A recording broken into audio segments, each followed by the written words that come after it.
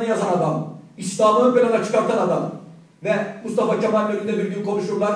Mermimiz kalmaz, silahlarımızda mermi yok, savaşacağız. Kurtuluş Savaşı'nı veriyoruz.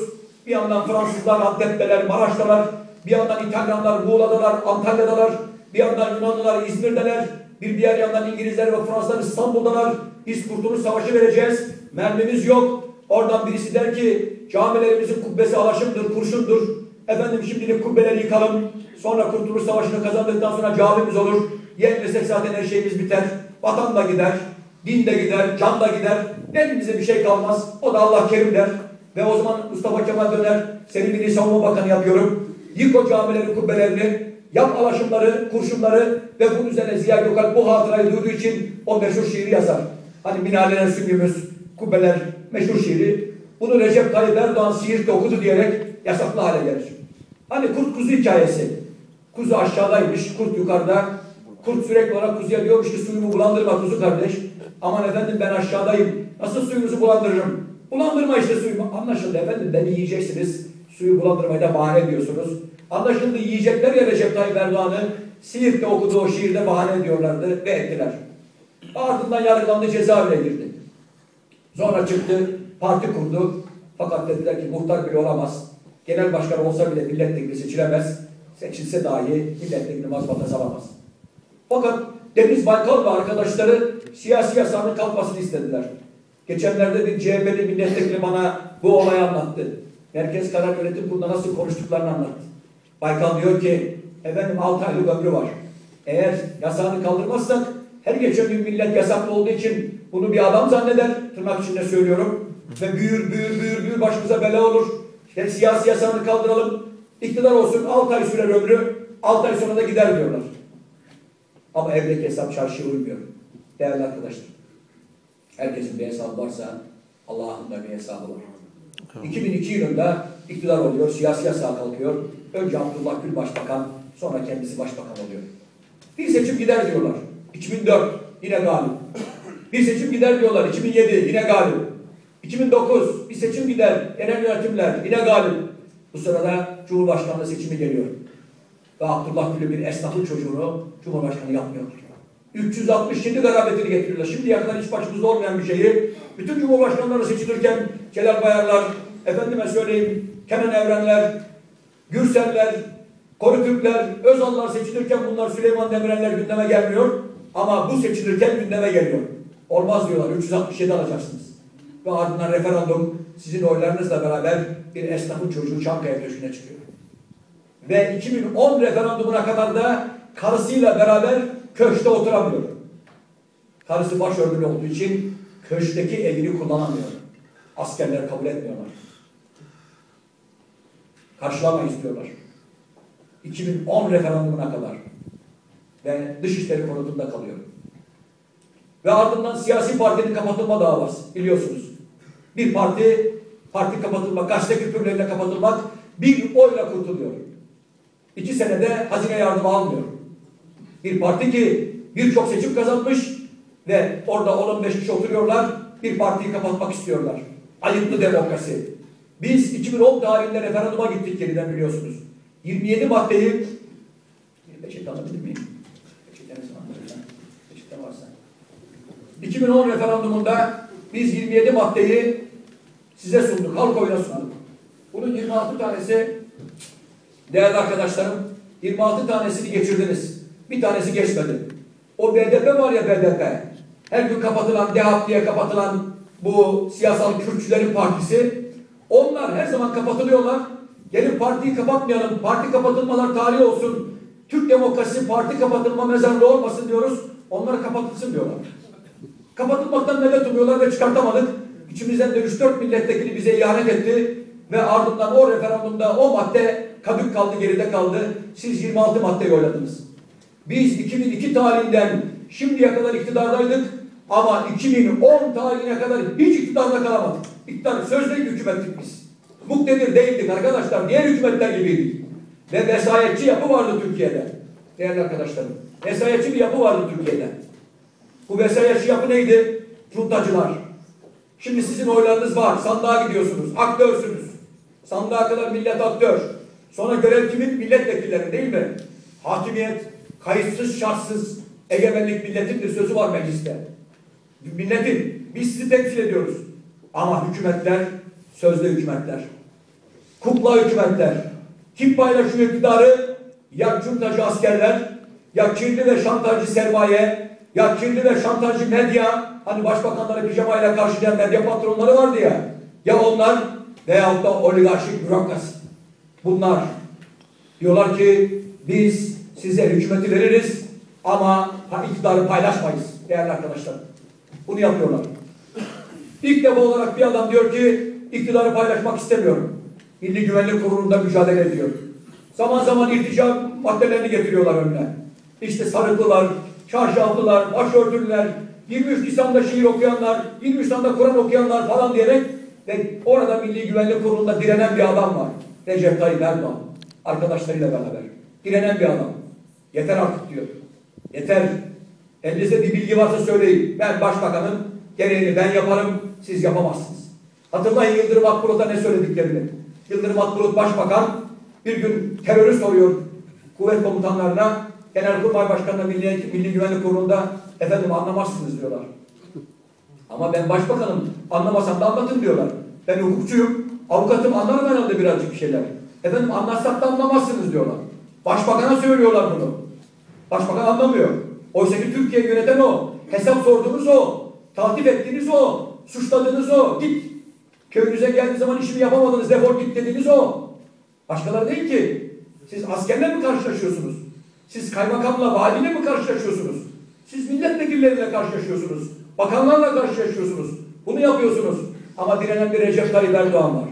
Ardından Sarı Kız, Ay Işığı, Ergenekon, Balyoz gibi darbe girişimleri bunlara karşı mücadele eden bir adam 10 Türkiye Büyük Millet Meclisi'nde iki tane askeri birisi albay rütbesinde birisi binbaşı rütbesinde meclis çağırıyor susurluk komisyonunda veyahut da başka konularda şu an hatırlamıyorum araştırma komisyonu yanılmıyorum yolsuzlukla ilgiliydi.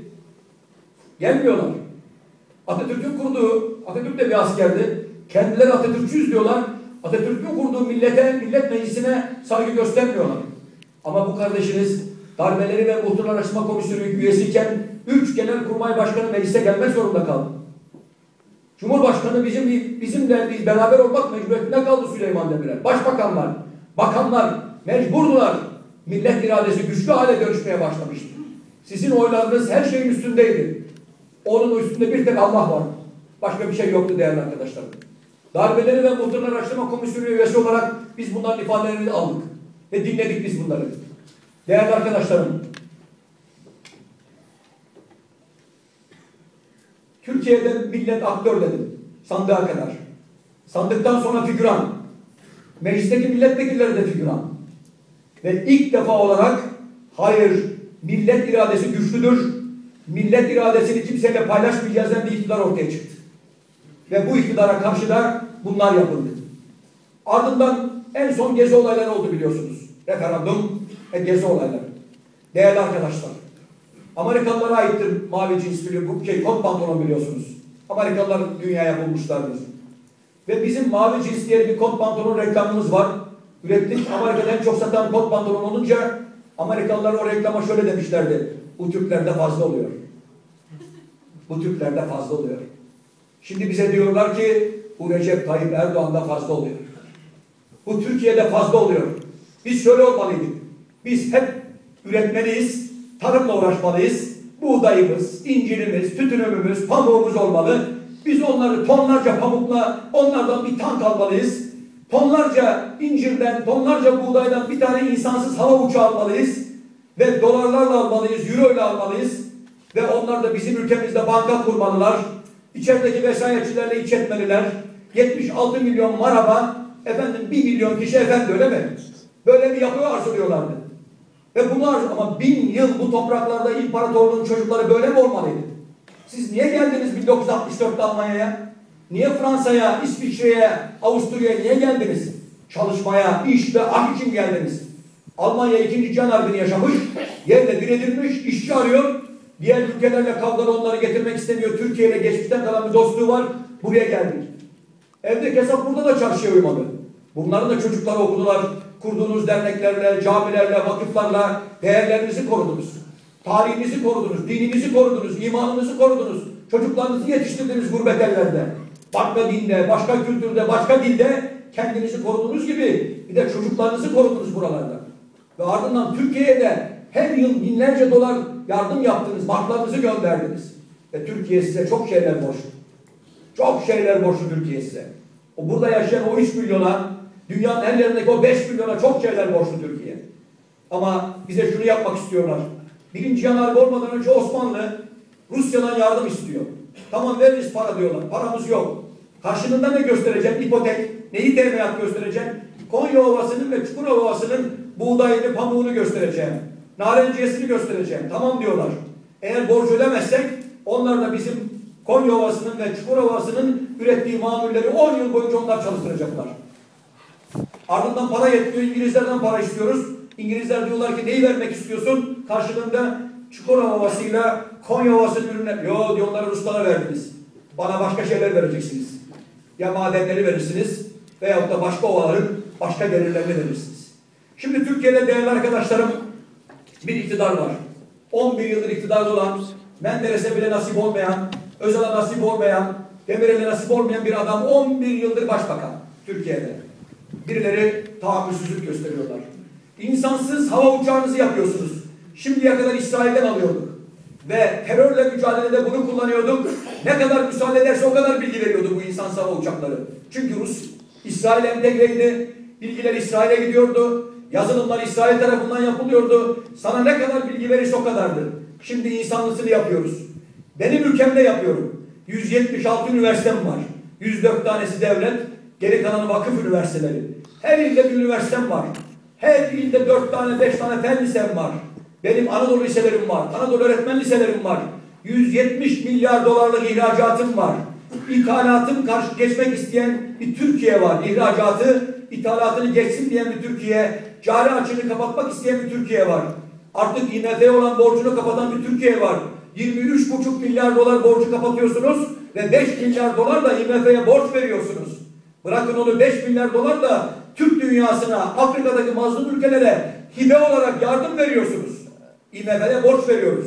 Bizim bu Türk dünyasına, Kırgızistan'a, Kırım'a veya Balkanlardaki ülkelere, Kosova'ya, Afrika'daki ülkelere, Nijer'e, Somali'ye, Bamoka'ya vermiş olduğumuz parada 5 milyar dolar hibe vermişsiniz.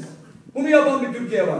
Nerede 1 milyar dolar borç isteyen Türkiye, kapı kapı gezen bakanların gezdiği Türkiye, 15 sene önce, 20 sene önceki hayatı anlatıyorum ve ardından da şimdi bu kadar bunları yapabilen bir Türkiye. Hızlı trenlerini yapan Türkiye ve vagonları Türkiye'de yapan Türkiye, Altay tankını yapan bir Türkiye, beyin göçünü beyin gücüne dönüştürmek isteyen bir Türkiye var şimdi.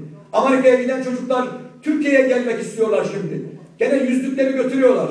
Dehalarımızı alıyorlar. Ama biraz aşağıda olanları 98'likleri, 97'likleri Türkiye'de muhafaza ediyoruz. Dünyada çok seçkin üniversitelerimiz Boğaziçi gibi, Bilkent gibi, İTÜ gibi, ODTÜ gibi üniversitelerimiz var bizim artık. Çok seçkin üniversitelerimiz, çok değerli üniversitelerimiz, bilim adamlarımız oluşmaya başladı. Ve o bilim adamlarına sahip çıkan bir Türkiye var. 76 milyonluk. Madenleri var. Çok ciddi şekilde. Bunları işletiyor. Ve Türkiye'de Recep Tayyip Erdoğan'a diyorlar ki sen kimsin? Bu soruyu soruyorlar dışarıdakiler ve içeridekiler. Sen kimsin? İki tane nükleer santral yapıyorsun. Kore ile, Rusya ile, Japonya ile masaya oturuyorsun. Ve diyorsun ki iki tane nükleer santral yapıyorum. Mersin'e ve Sinop'a ve burada 29 bin megawatt gücünde elektrik üreteceğim diyorsunuz. Dünya elektriğin üzerinde arkadaşlar. Dünya kömürün üzerinde. Dünya nükleer santrallerin üzerinde. Kim petrolü varsa, kimin elektriği varsa, kimin doğalgazı varsa, kimin madeni varsa onlar zengin. Bilgi onlarda, teknoloji onlarda değerli arkadaşlar. Değerli vatandaşlarım.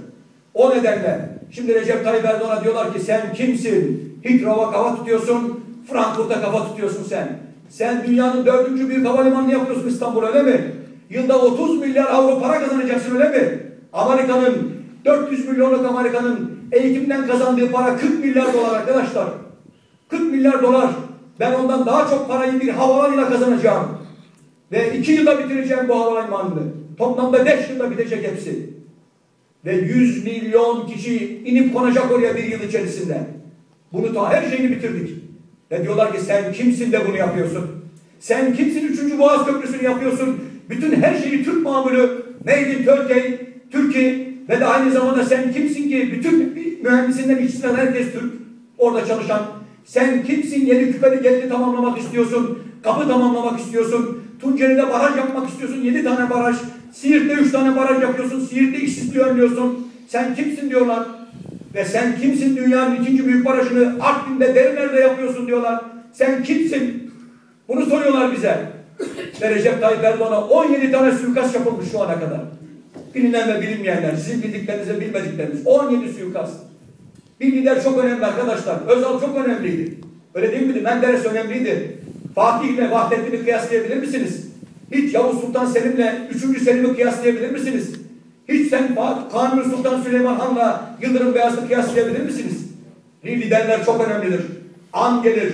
Bir çili bir nalı, bir nal bir atın ayağını, bir atın ayağı bir atı, bir at bir yiğidi, bir yiğit bir ülkeyi kurtarır. Bir kişi gelir, bir deha gelir. Ve bakıyorsunuz Microsoft diye bir adam çıkıyor oradan bir tane bilmem ne Jobs diye bir adam bir tane iş bütün Amerika'yı zengin yapıyor. Bir adam çıkıyor Japonya'da Japonya'yı zengin yapıyor. Bir patent, bir buluş. Bugün işte Türkiye bunu yapmak istiyor. Bir insansız uçağımı ben yapacağım. İnsanlısını yapacağım. Hızlı trenimin vagonlarını ben yapacağım. Ben havalanını yapacağım. Üçüncü Boğaz Köprüsü'nü yapacağım. Marmara'yı yapacağım. Hızlı trenleri yapacağım. Otobanları yapacağım ve yapıyorum da bunları. Bunları yaparken bize birileri diyor ki biz artık Türkiye'de darbe yapabiliriz. Deniyorlar ama generaller tutuklanıyor. Genelkurmay başkanları tutuklanıyor. Herkes şaşkın şaşkın değil miydiniz? Ben milletvekiliydim şaşkındım şahsen. Nasıl olur? Bir general tutuklanır öyle mi Türkiye'de? Bir genelkurmay başkanı tutuklanır öyle mi Türkiye'de? Bir asker üst tutuklanırlar. Büyük sermayedarlar kirli işe bulaşmışlar. Ve bunlarla ilgili şaşkınlığını giderememiştim. Siz de mutlaka şaşırmışsınızdır. Acaba ne olacak? Sonuç ne olacak diye merak ettiniz. Ve darbeler akamete uğratıldı. Yargı devrede, emniyet devrede, siyasi irade çok önemlidir arkadaşlar. Siyasi irade ve siyasi istikrar bir ülkeyi zengin yapar. Demirel'i dinlemeye gittiğimizde darbeleri ve Muhturlar Araştırma Komisyonu üyesi olarak ki belki 1980'i yaşamış, darbeyi yaşamış birisiydim. Darbecilerin darp ettiği bir adamdım, darbeli bir adamdım. Ama kader rüzgarları bir köylü çocuğunu, bir gece konuda büyüyen çocuğu, her yaz tatilinde ayakkabı boyayan, su satan bir çocuğu milletvekili yaptı ve o darbe yapanlardan hesap sordu bu adam. Değerli arkadaşlar. Ve ben Demirel'i dinlemeye gittiğim zaman Demirel şunu söyledi. Recep Tayyip Erdoğan'ın bazı şeylerini tenkit edebilirim. AK Parti'nin bazı programlarını tenkit edebilirim. Ama Türkiye'nin tarihi 89 yıl, 61. hükümet var. Şimdi 61'e bölerseniz 89, 61'e böldüğünüz zaman 61'i bir buçuk yıl oluyor. Bir hükümetin ömrü ortalama bir buçuk yıl. Bazı hükümetler üç ay yaşadılar, bazıları altı ay, bazıları bir sene bile yaşamadı. Değil dünyayı, değil Türkiye'yi, bakanlığını bile tanımaz dedi. Ama şimdi 10 yıl iktidarda olan bir AK Parti var, Recep Tayyip Erdoğan var. Siyasi istikrar ekonomiyi getirir. Siyasi istikrar özgürlüğü getirir. Siyasi istikrar zenginliği getirir ifadesini kullanmıştı. Değerli arkadaşlarım. Sonra gezi olaylarıyla Recep Tayyip Erdoğan'a bir mesaj verdiler. Yani o gezi olaylarıyla hükümetler yıkılmaz. Düşmez hükümetler. Büyük bir olaydı Türkiye'de. Ve dünyadaki yansımaları da başkaydı. Gezi olaylarında bütün batı basını bizi suçladı. Ama Mısır'ı görmediler. Ama hala Suriye'yi göremediler. Şimdi Hamburg'u da görmüyorlar. Göremiyorlar Hamburg'u. Bunlar uzağı göremezler. Bir yokturlar bunlar. Uzağı görmüyorlar. Yakını görüyorlar. Yakında kendileri görüyorlar sadece. Başkalarına da göstermiyorlar bunları. Değerli arkadaşlarım, Gezi olaylarında Recep Tayyip Erdoğan'a bir uyarı yaptılar. Dediler ki sen bunları bunları bunları yapamazsın. Yaparsan da bizimle yaparsın. Ama Recep Tayyip Erdoğan aynen Mevlana'nın bir sözü vardır ya bir ayağım Kur'an'dadır bir ayağımla alemleri gezerim dedi. Recep Tayyip Erdoğan'ın bir ayağı Anadolu topraklarında diğer ayağıyla dünyayı gezdi. Amerika ile ilişkiler, Avrupa Birliği ile ilişkiler, Rusya ile, Çin ile, Japonya ile ilişkiler, yani nerede bir güç varsa İran'la ilişkiler, Afrika'ya ilişkiler, 40'a yakın büyükelçi ve başkonsolosluk açtık biz orada. Orada hep sömürge devletleriydiler. Ben Afrika'ya çok sık gidip gelen insanım. Bütün madenler orada. Çin orada ama biz yoğuz. Fransa orada ama biz yoğuz. Dursun arkadaş. Beni rahatsız etme lütfen. Düşsün. Başla sen rahatsız etme beni. Konsantrasyonum bozuldu. Sağ olun. Değerli arkadaşlar, Çin orada. Batı dünyası orada. Ama siz yoksunuz. Fakat Türkleri özlüyorlar. Nijer'e gittiğimde gördüm orada ay yıldızlı bayrakları. Mezar taşlarında. Benim atalarım Cezayir'e geldiler anladım dedim. Tunus'a geldiler, Fas'a geldiler, Akdeniz sahilleri. Barbaros da oralardaydı. Osmanlı ile oralardaydı. E bu Nijer'de ne işleri var? 50 derece sıcaklık var ya. 60 derece oluyor yazın. Herkes ölüyor. Ömür 50 sene en fazla. En fazla yaşayan 50 sene yaşıyor. 35-40 sene ortalama ömür. Benim atalarım burada ne işi var 1700'lü yıllarda. İslam anlatmaya gittiler oraya. Öldüler. Tuarekler dediğimiz ya mahalle onların işte Tuarekler dediğimiz ne zencilere benziyorlar. Bizim kara adamlarımız var böyle çok Karadeniz. Onlara benziyorlar. Benim atalarım oralardaydı. Şimdi yeniden Osmanlı'nın hinterlatında gezen bir Türkiye Cumhuriyeti Devleti var. Bir yandan ekonomisini düzelten, bir yandan IMF'ye borcunu kapatan ve Türkiye Cumhuriyeti Devleti'nin dış borcu yok arkadaşlar.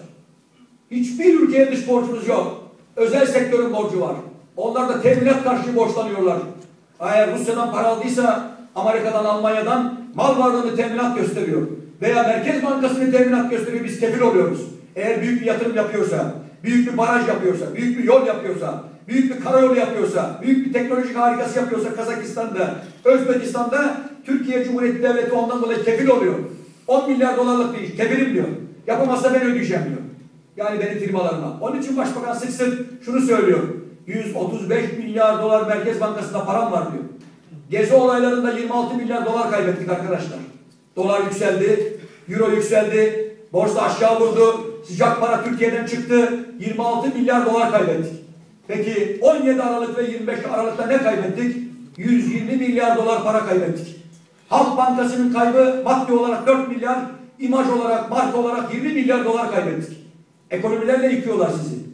Hatırlarsanız eğer yıllar önceydi Almanya'da bir bakan bir Yahudi lobilerini, buradaki büyük iş adamlarını tenzih ederim yani böyle bir Yahudi düşmanlığım yok kesinlikle. Böyle bir sözü sarf etmem çünkü herkes Allah'ın yarattığı dinler, Allah'la kendi aralarındaki meseleleri ama İsrail devletinin zulmüne karşı, Filistin'de yaptıklarına karşı, onların yaptıkları yenilir yutulur şeyler değil. Orada Filistinlere yaptıkları.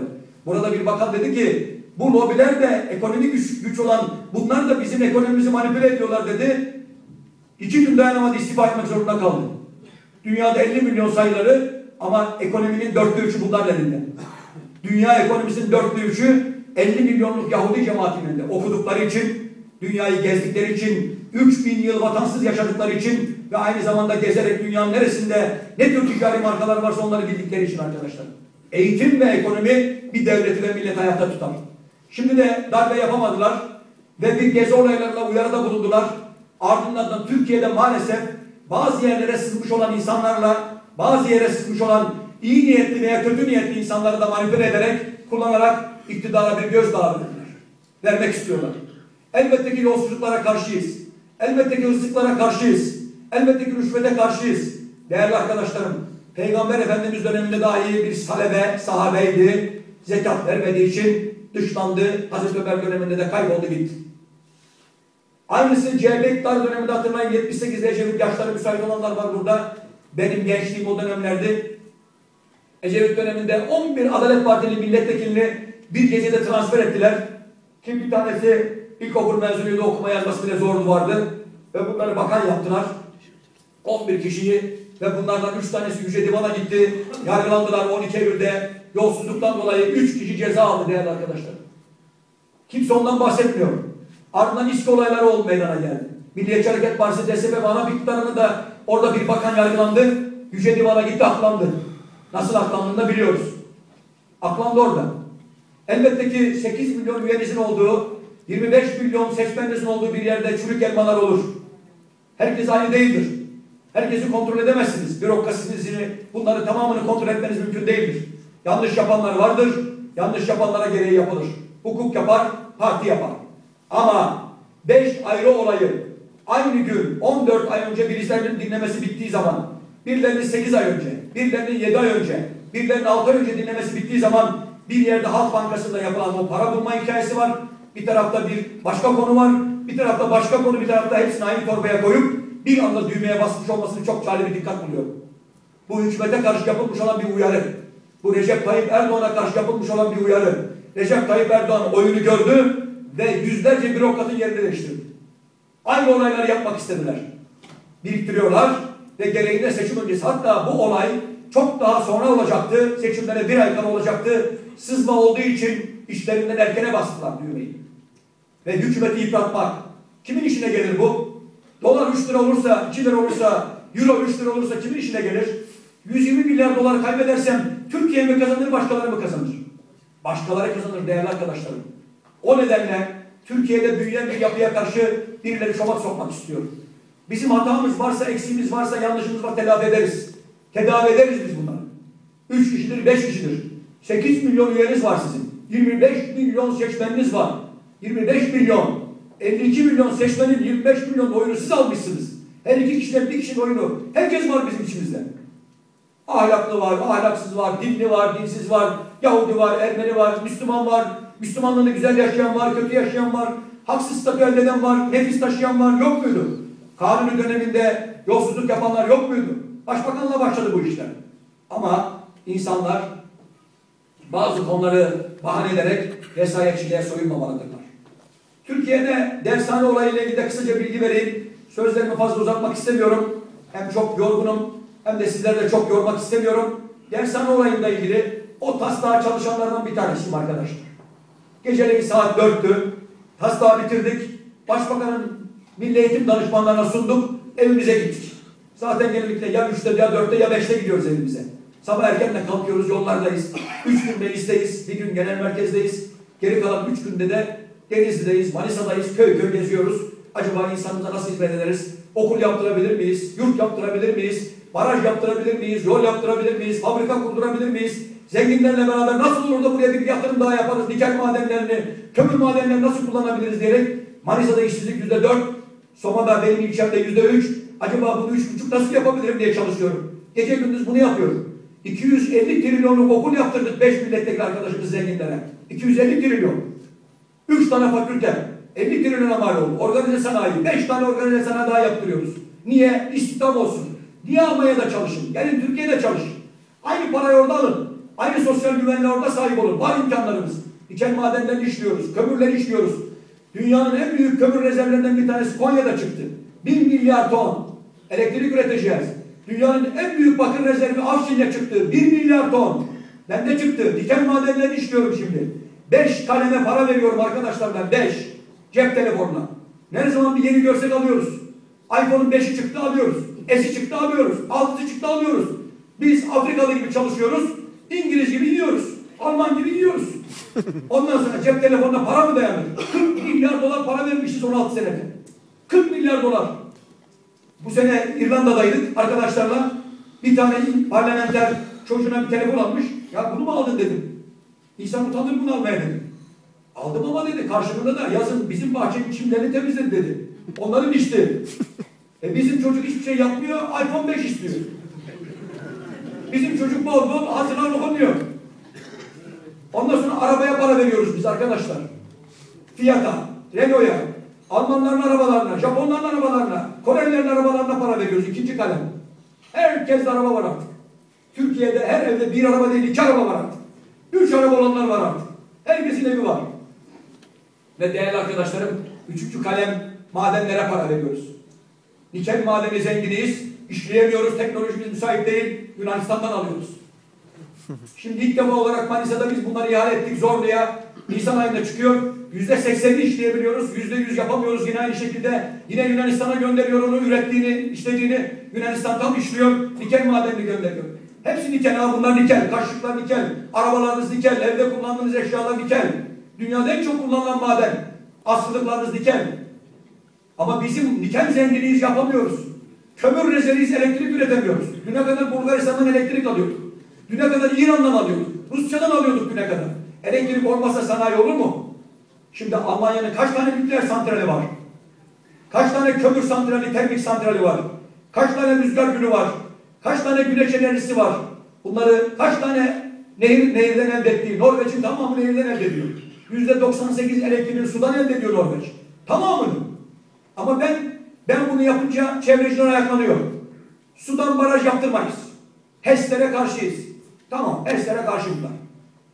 Rüzgara karşıyız, kuşlar göç ediyor.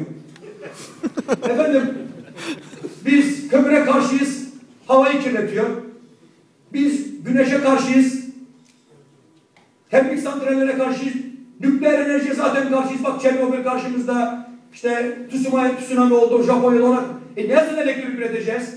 E babalarımız gibi yakacağız gaz lambasını. Onlarla beraber yaşasın çevreciler.